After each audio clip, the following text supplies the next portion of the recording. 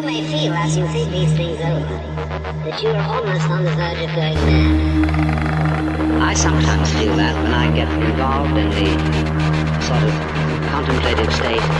It is so weird and so far out. Well, I think I'm going to lose my mind. But uh, don't worry, because it'll always bounce. And uh, what makes you